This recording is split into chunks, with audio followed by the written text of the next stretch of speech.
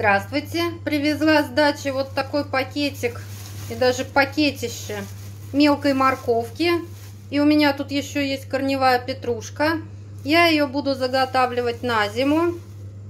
И самым первым делом и самым неприятным будет у меня чистка этой мелочи. Чистить я буду вот так ножом. Ну, конечно, это буду делать в раковине. Очищенные корнеплоды я сразу опускала в холодную воду, чтобы они не почернели. И теперь я солью воду и натру их на терке.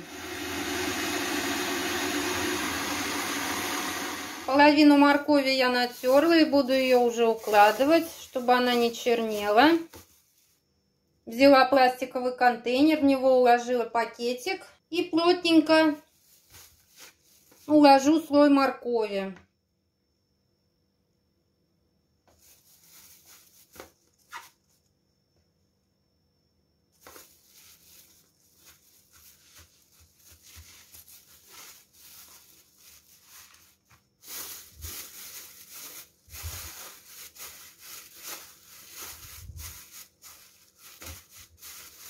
Края пакета я отогнула в сторону. И сверху положу еще один пакет. И сюда опять слой моркови.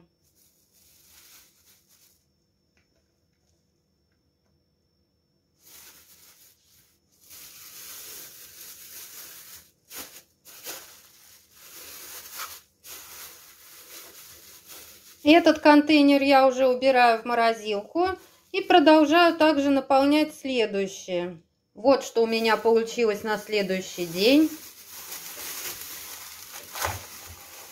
Тут у меня два тоненьких брусочка петрушки. И остальное все морковь.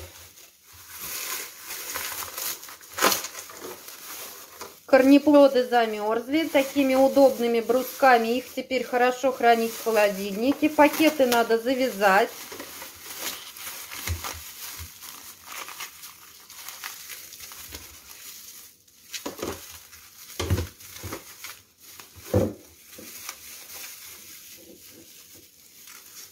И уже в таком виде, сложив друг на друга, отправлять на хранение.